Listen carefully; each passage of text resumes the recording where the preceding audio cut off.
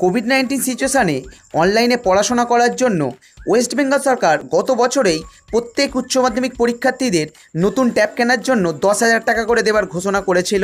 সেই অনুযায়ী গত বছরে প্রত্যেক উচ্চ মাধ্যমিক পরীক্ষার্থীকে দশ হাজার টাকা করে দিয়েওছে। এই বছরে যারা গত জুন জুলাই মাসে এই দশ হাজার টাকা পাওয়ার জন্য ফর্ম ফিল করেছে, তাদের কিন্তু অ্যাকাউন্টে টাকা আসা শুরু করে দিয়েছে।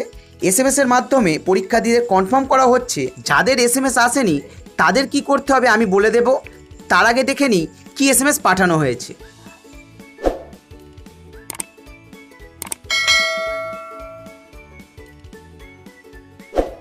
দেখুন বন্ধুরা, এই ধরনের একটি এস এম এস পাঠানো হয়েছে।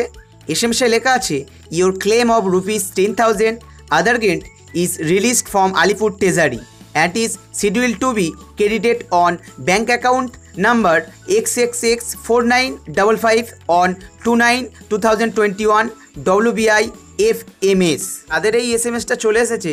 তারা একটু ব্যাংকে গিয়ে বুকটাকে আপডেট করে নেবেন। কারণ টাকাটা এসেছে কিনা একটু কনফার্ম হয়ে যাবে। যদি এস এম এস এসে থাকে, অথচ ব্যাঙ্ক অ্যাকাউন্টে টাকা না আসে, তাহলে কিন্তু চিন্তা করার দরকার নেই। টাকা অ্যাকাউন্টে অ্যাড হয়ে যাবে।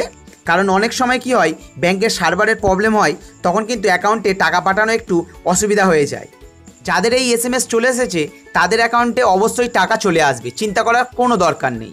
যাদের এই এস আসেনি, তারা প্রথমে ব্যাংক পাসবুকটাকে একবার আপ টু ডেট করে নিন।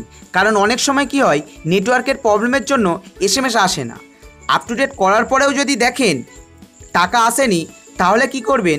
লাস্ট আপ টু ডেটের এক কপি জেরক্স করবেন এবং তার সঙ্গে যা যা ডকুমেন্টস ফর্ম ফিল সময় দিয়েছিলেন, সমস্ত ডকুমেন্টস নিয়ে নিজে স্কুলে চলে যাবেন। স্কুল থেকে যাদের টাকা আসেনি, তাদের ফর্ম ও ডকুমেন্টসগুলো রিভিউয়ের জন্য আবার পাঠানো হবে। স্কুল রিভিউয়ের জন্য পাঠালেই কিন্তু আপনার টাকা আপনার অ্যাকাউন্টে অ্যাড হয়ে যাবে। মনে রাখবেন, এই সমস্যার সমাধান কিন্তু আপনার নিজের স্কুল ছাড়া কোথাও হবে না। যেমন ধরুন, পোর্টাল বা কোনো ওয়েবসাইট বা কোনো হেল্পলাইন থেকে আপনি এই সমস্যার সমাধান করতে পারবেন না। তাই আপনাকে চলে যেতে হবে আপনার নিজের স্কুলে।